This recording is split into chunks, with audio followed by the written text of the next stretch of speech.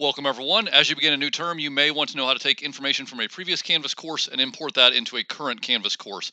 And to demo that, I have created an example and I've just called it import example right here. And this course is a blank shell. This is how all of your brand new Canvas courses will start. They will be a blank shell. They will look just like this. And I'm going to take information from a previous Canvas course and bring it into this course. So I'm going to choose the import existing content option right here. Import existing content and that is on the home page and I will select that. And then from here, I have the drop down and I'm asked to select one of several options. And the option that I want is copy a Canvas course, the very first option, copy a Canvas course. And from there, I will be asked to search for a course. And I will type a few characters to bring up the name of that course. So let's say that I want to bring in my demo course. I'm going to type demo.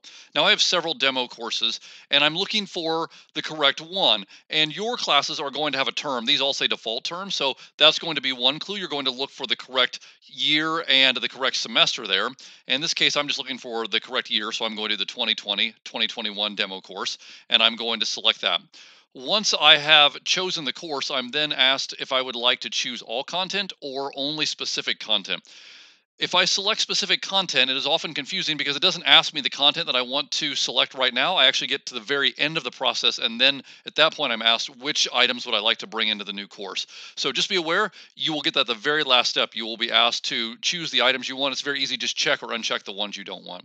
I'm going to choose all content for the simplicity of the demonstration.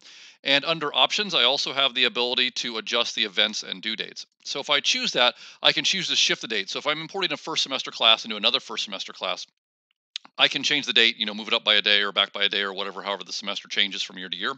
Or second semester, same thing. I can also choose to remove the date. So if I'm choosing a teaching a first semester class in second semester or vice versa, I can remove the dates and just create new due dates for the assignments that I am going to bring into the course. So I'm going to remove the due dates and then I'm going to select import and your job will be queued right here and then it will begin processing and this may take several minutes it may take uh, quite a few minutes. I've seen it take up to 30 minutes, but usually five to 10 is the absolute most that it's going to take. And once that has begun, then uh, the process will run. And once it runs, I'll show you what to do after that. Okay, you can see that mine is now completed, and I know that because it has the orange and white completed. I do have 16 issues. I can click on those issues. Now, my demo course has a lot of random things in it, so these examples are probably uh, caused by missing links or things that I've experimented with, and you can see that looks like what they are, probably missing links. So I'm going to hide the issues. You, they're there so you can address them. That is a nice feature.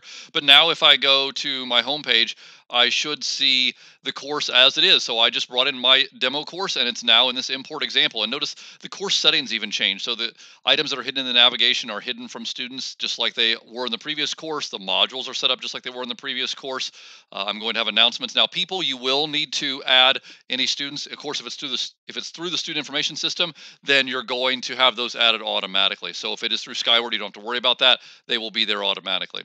Uh, and from there, you will find the courses in an exact duplicate of the course that you were trying to copy, and that's good. So if you have any questions about this process, please let me know.